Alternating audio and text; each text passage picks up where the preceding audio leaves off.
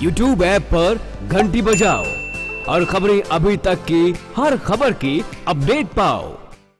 हरियाणा सरकार अपना ही एक दावा करती है कि सबका साथ, सबका विकास। लेकिन हरियाणा परिवहन विभाग से आज प्रत्येक व्यक्ति निराश व चिंतित है। और उसका मुख्य कारण यह है कि जब से हरियाणा में मनोहर सरकार आई है, तब से हरियाणा राज्य परिवहन ने जितने बसें हरियाणा के लोगों के लिए पर्याप्त तो होनी चाहिए, उतनी नहीं है। लेकिन राज्य के परिवहन मंत्री हर पत्रकार वार्ता में एक ही दावा करते हैं कि हम हरियाणा के परिवहन के बेड़े में बसों की बढ़ोतरी कर रहे हैं। लेकिन इसका लाभ आज तक किसी भी यात्री को पूर्ण रूप से नहीं मिल पाया है जिससे यात्री परेशान हैं। परिवहन मंत्री कृष्ण पवार ने कहा कि हरियाणा राज्य में 4,125 बसें हर रोज एक जगह से दूसरी जगह जाती है। गत वर्ष हमने साढ़े छह बसें अपने बेड़े में डाली थी और उसी तर्ज पर इस वर्ष भी साढ़े सामान्य बसें और सौ मिनी बसें लोकल शहर के लिए और 150 एसी बसें हरियाणा राज्य को परिवहन विभाग उपलब्ध करवाएगा।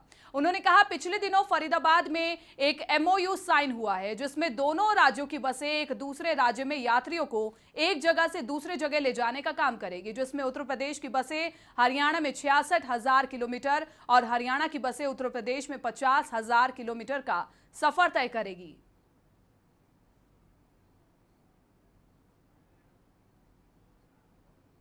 हमने 2017-18 में साढ़े छः सौ बसों को अपने बेड़े में डालने का काम किया है और 2018-19 में साढ़े छः सौ बस और बेड़े में डालने जा रहे हैं और सौ हम मिनी बस लेंगे, जो कि शहरों के अंदर सिटी बस सर्विस चल सके और डेढ़ सौ बसें हम एसी लेंगे, जो वोल्वो ऑर्डनरी के बीच की होगी। हमने एमओयू किया है कि एक दिन में हरियाणा प्रदेश की जो बसें हैं, छियासठ हज़ार किलोमीटर उत्तर प्रदेश में यात्रा करेंगी और उत्तर प्रदेश की बसें पचास हज़ार किलोमीटर पर डे हरियाणा में चलेंगी।